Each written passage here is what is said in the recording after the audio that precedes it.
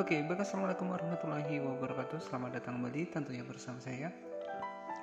Nah, Oke, jadi kesempatan kali ini yang akan kita bahas adalah cara menghilangkan nama pada video TikTok ya untuk di aplikasi Capcut ya. Jadi ketika teman-teman sudah download untuk videonya, kemudian masih ada watermark dari TikToknya, itu teman-teman bisa diedit menggunakan aplikasi Capcut untuk cara menghilangkannya teman-teman. Nah, Oke, jadi untuk cara simpan video TikTok tanpa watermark sudah saya bahas di video sebelumnya. Silahkan teman-teman bisa tonton. Nah, kali ini kita akan bahas cara menghilangkan untuk watermark dari TikTok yang menggunakan aplikasi Capcut. Jadi misalkan teman-teman sudah download untuk uh, videonya, kemudian watermarknya uh, belum kita hilangkan. Di sini kita bisa menggunakan aplikasi Capcut. Nah, caranya tinggal kita masuk saja ke dalam aplikasinya. Kemudian untuk aplikasi Capcutnya teman-teman bisa dapatkan di Play Store secara gratis ya.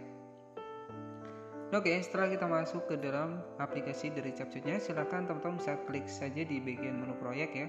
Kemudian di sini teman-teman bisa pilih saja untuk video yang ingin teman-teman hilangkan untuk logo dari TikToknya. Nah, misalkan seperti ini. Oke, jadi di sini ada uh, logo dari aplikasi TikToknya, tonton ya. Jadi di sebelah kiri.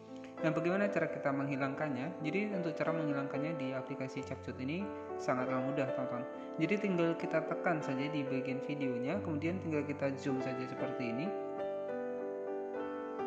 Oke, jadi sampai logo TikToknya tidak terlihat teman-teman. Nah seperti ini. Kemudian untuk hasilnya akan seperti ini teman-teman.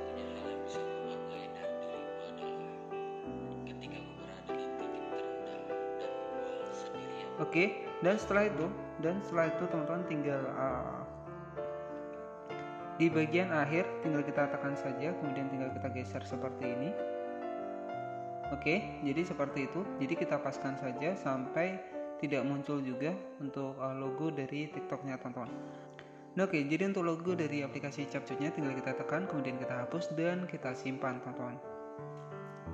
Oke, jadi otomatis untuk watermark dari TikToknya tidak akan terlihat karena di sini posisinya sudah kita zoom ya.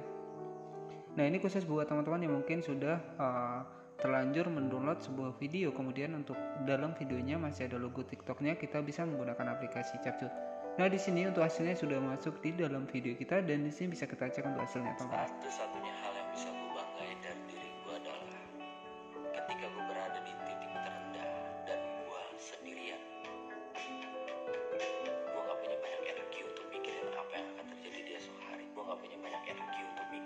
Oke ya, jadi cukup seperti itu saja untuk cara menghilangkan watermark TikTok ya menggunakan aplikasi Capcut. Dan oke semoga informasi ini bermanfaat. Jangan lupa buat klik tombol subscribe dan aktifkan lonceng notifikasinya agar teman-teman mendapatkan pemberitahuan terbaru dari channel ini. Oke, selamat malam dan wassalamualaikum warahmatullahi wabarakatuh.